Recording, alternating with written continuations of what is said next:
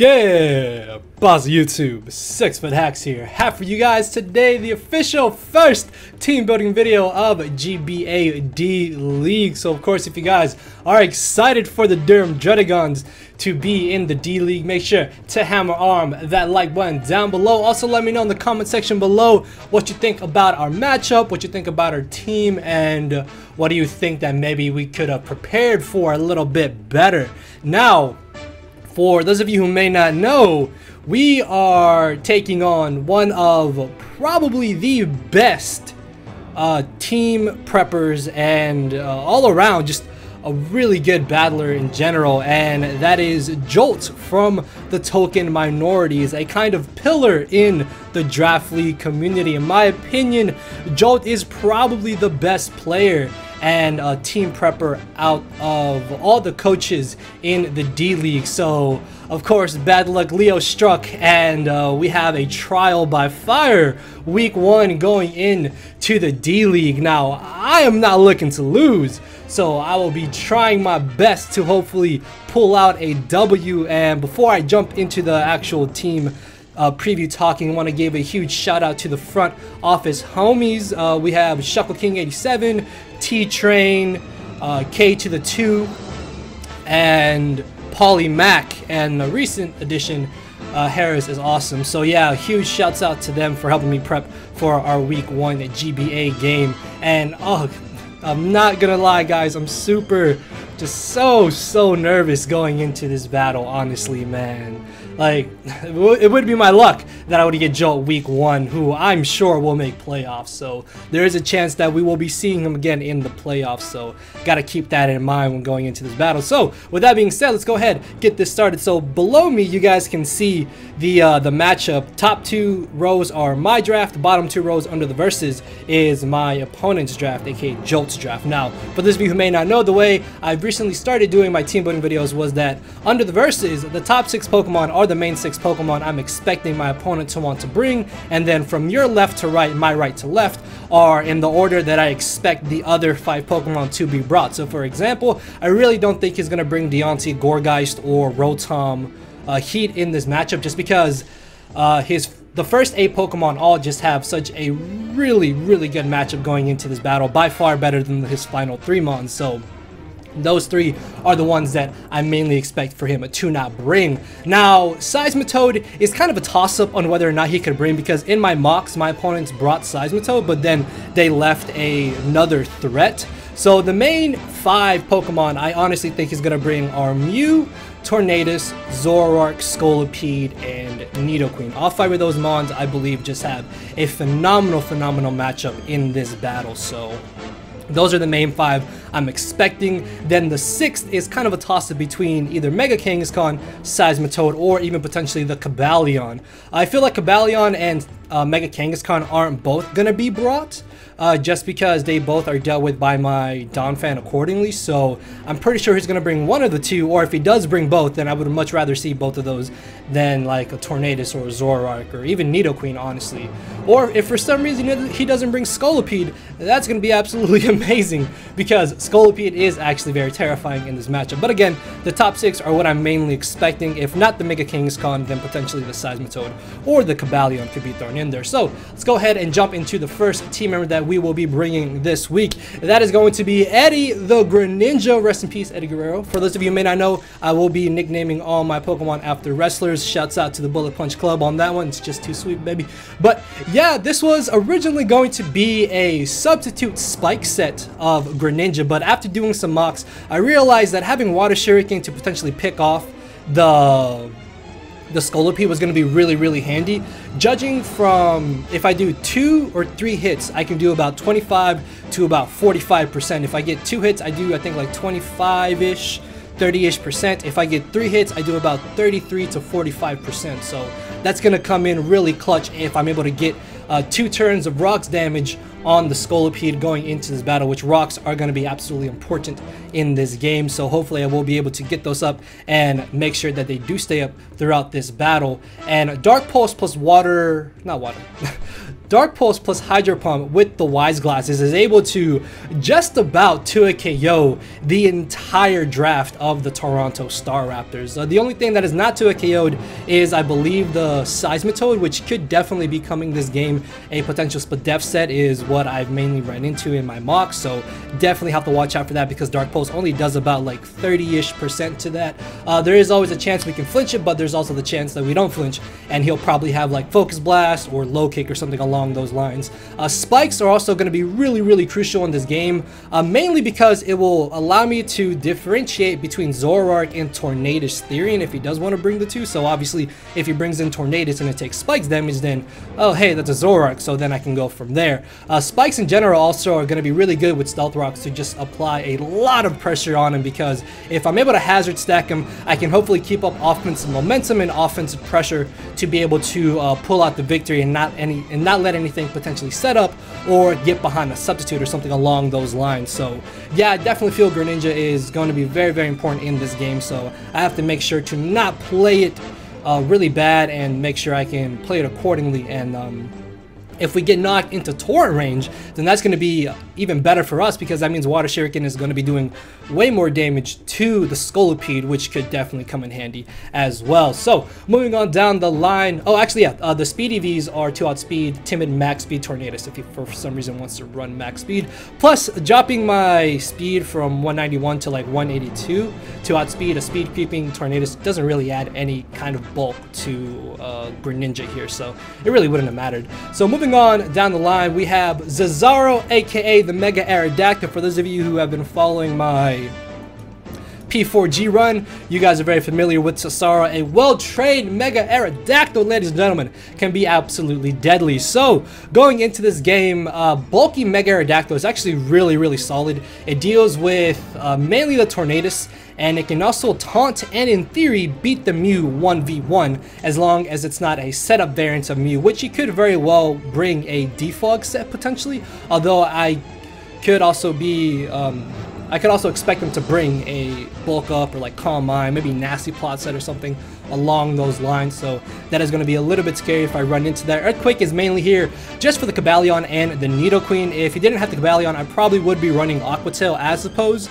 to Earthquake, although Earthquake does also hit the Seismitoad, which I think takes about 20, 30-ish percent on uh, especially defensive Seismitoad, and there's a good chance he's going to be running Rindo Berry to uh, weaken a potential Grass Knot or Hidden Power Grass from anything on my team. Also, a Seed Bomb or Energy Ball from Donphan and Reuniclus if I brought them, so yeah, very positive he's going to bring Rindo Berry Toad, so really have to watch out for that. But between Stone Edge and Earthquake with an Adamant Nature and having 92 attack EVs, this Mega Aerodactyl after Rocks is able to just about 2 KO absolutely everything and anything that the Toronto Staraptors want to bring except uh, for the Toad, obviously. And then if I'm able to Earthquake the Cobalion or Nidoqueen on a switch-in, I should be able to 2-KO those with Earthquake as well. So that's going to be really good. Taunt is mainly to just stop Mew from roosting. If I'm feeling aggressive, I can also stop the Toad from potentially getting up rocks. Or if for some reason he brings Toxic Spikes on his Nidoqueen, I can stop that as well. Though really don't expect him to bring T-Spikes because he should have rocks on the Nidoqueen unless he wants to put rocks on Mew with Defog as well. In which case Mew should be a little bit easier for my team to deal with. So depending on what sets they are running will determine on how I can play around them. The max HP and the fancy Vs allow us to pseudo check Adamant Max Attack Kangaskhan, although very positive he's not going to be bringing Adamant Max Attack Mega Kangaskhan, that's just absolutely worst case scenario. This can actually 2-KO Mega Kangaskhan depending on the EV spread that he is running after hazards, it's definitely 2-KO, and if he is running like Wish, uh, or something along those lines, I can obviously taunt the Wish and then stop him from recovering back HP, so that's going to be really good. As long as I don't get really unlucky with missing Stone Edges, I definitely see Mega Aerodactyl putting in a lot of work. Between Mega Aerodactyl and uh, Greninja, we can definitely pressure his uh, potential six that he wants to bring very, very well. So really happy between these two uh, offensive mons. And again, 92 attack EVs with the Adamant Nature are more than enough to be able to pressure his team, I think, while still being able to have a decent bit of bulk. And then the speed allows us to outspeed a speed creeping Tornadus, which should only be reaching about 181 speed uh, because that's enough to outspeed uh, Raichu, which is I think our second fastest Mon on the team. So yeah, he would definitely want to outspeed that, and he can already outspeed Tornadus. And because Jolt is a very great prepper, I know he's not going to want to let any EVs go to waste. So moving on down the line, we have Spadef.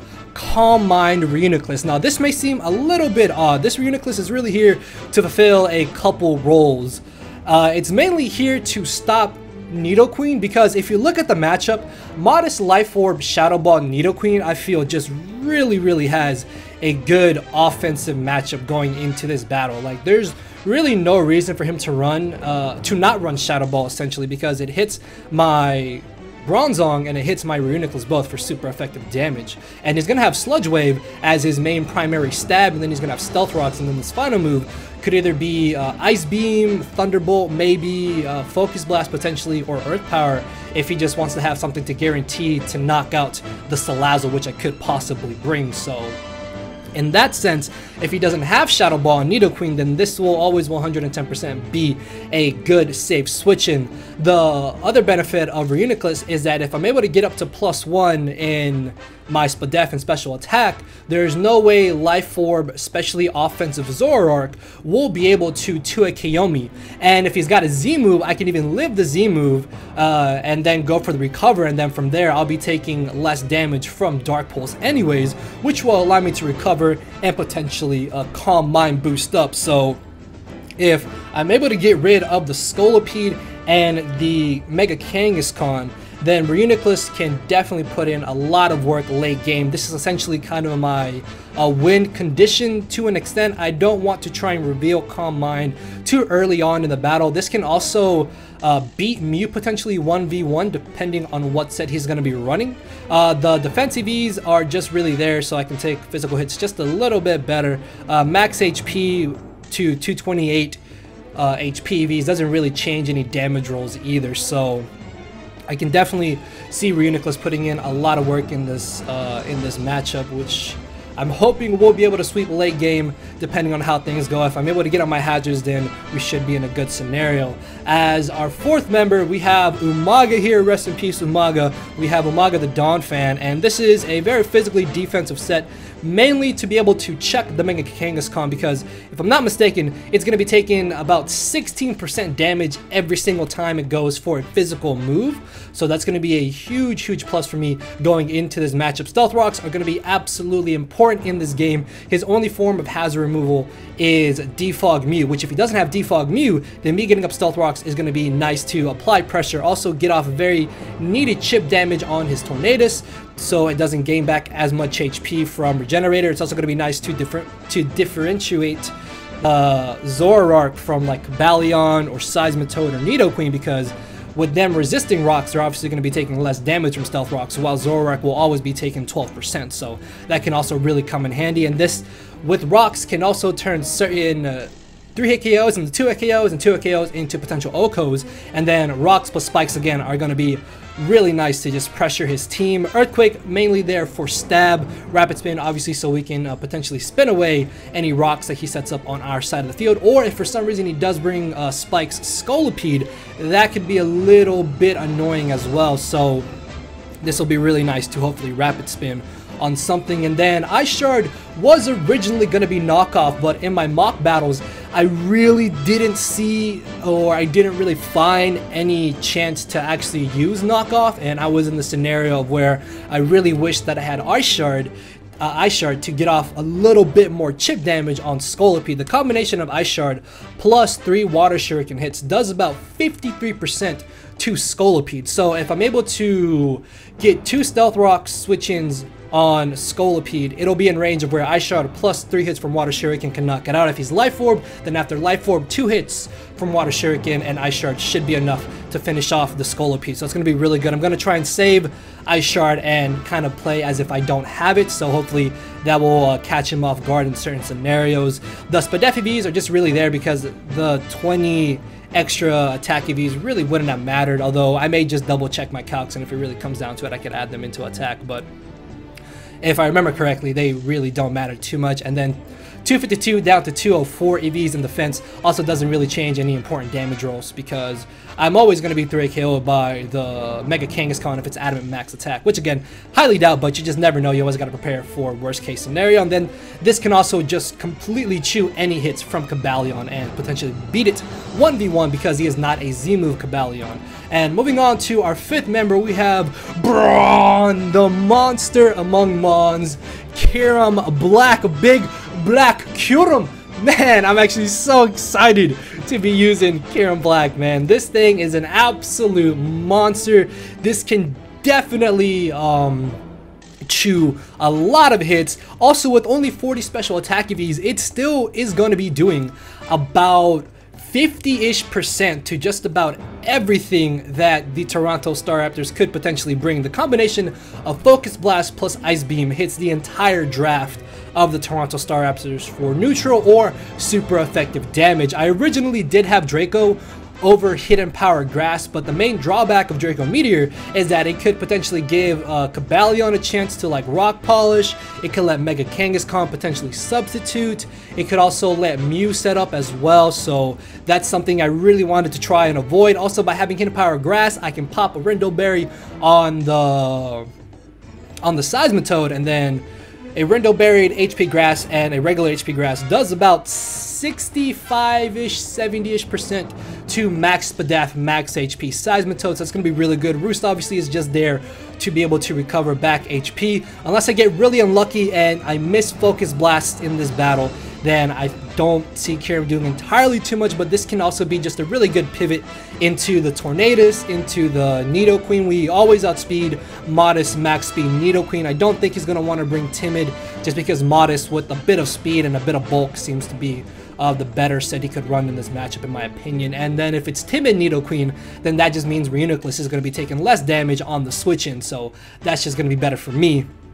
And then uh, this unfortunately is kind of hard walled by the Mew, but uh, between hazards and potentially being able to taunt it and stop it from setting up and wearing it down with Reuniclus' Signal Beam, we should be able to apply pressure if we do have hazards up as well, depending on how much Spadef he's running and on how much HP he'll be at. He can't safely switch in to two Ice Beams either, so that's going to be really, really good. This also does outspeed a uh, potential speed creeping Mew, which if he is running defensive Mew, I think he wouldn't be running uh, too many speed EVs. At least not enough to reach 130 in my opinion. So we can outspeed him and then potentially 2 KO him depending on how things go. And then our last team member is going to be the GOAT. Jericho, aka Silvally Steel this time. Silvally Steel actually has a really, really good matchup in this game, I believe, because if you look at our draft, there's really no reason at all for Scolipede to be running Earthquake or for Kangaskhan to be running Earthquake. Uh, they can definitely fit a different coverage move on there. Like Scolipede, I'm 99% sure is going to be Aqua Tail, Mega Horn, Poison Jab, Protect. If not Protect, then Spikes. But there's no way he's bringing 4 attacks Scolipede because he needs that Protect in order for it to outspeed my Mega Aerodactyl and my Greninja. And then Kangaskhan could run uh, Fake Out, Return, uh, potentially Power Up Punch. That could actually be a little bit annoying if he does run Power Up Punch. He could also have Wish, uh, Sucker Punch, Crunch even, if he wants to go down that route. Uh, Ice Punch maybe. I ran into an Ice Beam Mega Kangaskhan, so that's actually uh, something I'll really have to be careful with. But the EVs on this Silvally is to ensure that I'm not too KO'd by any non-Earthquake move coming from the Scolipede. So even Adamant Life Orb Scolipede only does about 30-ish percent to this EV spread. If I really wanted to, I could probably add some more defense EVs just to kind of lower the percentage. And I'll probably be double checking on my calcs anyways. So yeah, the four special attack EVs really don't even accomplish anything. They're just kind of there because I didn't have anywhere to put them. 92 Spadef EVs just to take a potential non-boosted Heat Wave from Tornadus, or just to be able to take a Flamethrower from Life-Formed uh, Zoroark. And then the speed EVs are enough to outspeed a potential speed creeping Nidoqueen if he is not reaching up to 120 speed. And then if he's not running any speed at all on his Mew, we should outspeed it by two points. So that could also come in really, really handy as well. And then if he is for some reason reaching over 121 speed on Nidoqueen, which again, I really don't think he's going to be running that much speed, then we can also outspeed it. Uh, Flamethrower does come in handy just to be able to get off some nice little chip damage. We are able to do about 60 to 70-ish percent to the Scolipede, which is really nice. Toxic is literally uh, only for the Mew, honestly. If he's not running Taunt Mew, as soon as I Toxic it, dealing with that thing is going to be 10 times easier for my team because now I'll be able to consistently get residual damage on it every time it switches in. And then if I'm able to get up hazards and keep up hazards and just apply offensive pressure then Mew shouldn't even be that big of an issue either. So that's kind of the idea behind the set. And then rest talk is so I can keep this as healthy as possible. Although it does kind of suck not having parting shot for that little bit of momentum. It's just I would much rather have Silvally be a defensive check to the likes of Scolipede and Kangaskhan if it really comes down to it. Also a physical Zoroark if for some reason he wants to bring that. So yeah guys, that is going to be our week one team. I am kind of confident in this team, kind of worried just mainly because of the matchup and knowing how great of a prepper Jolt is and he is also a very solid player so I really think this match is going to come down to who prep better and who can outplay who better so yeah, hopefully we don't lose our first ever week one league game. And I'm not looking to lose. But if it is an L against Jolt, then best believe I will be looking for some revenge in playoffs if we do face him again. So definitely check out Jolt, guys. Check out the GBA and everybody's channel link and stuff should be down in the description as well. Make sure to hammer arm that like button down below. Let me know what you thought about our squad, what you think about our matchup. Do you think we're going to lose, win, or potentially draw? Who knows? You can let me know though. So with all that being said, guys, I'll see you all tomorrow with the actual week one battle. So later, everybody. Cause my brain and heart are both tied in the knot And this hinders me from crying a lot. This causing me to show no emotion. But when I said I cared I wasn't joking. But I guess it's too late for me to become broken. For now I'm living with no more pain, tears or hoping. I'm just coasting. Yeah, I said I'm coasting. No more pain, tears, and hoping. For real